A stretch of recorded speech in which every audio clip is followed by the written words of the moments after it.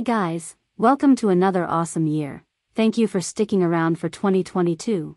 It was a hard year for many including me. This year has a lot of cool things happening. Some new games to come out for both PS4 and Switch. I even finally bought Zelda Breath of the Wild. Been playing that mainly over the holidays. I have to admit this has got to be the shortest holiday so far and yet I drank so much rum over the period.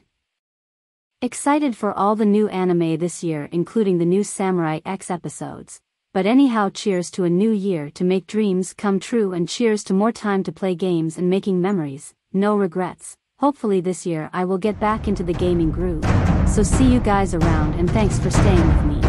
Also welcome to any newbies hope you enjoy and hang around as well.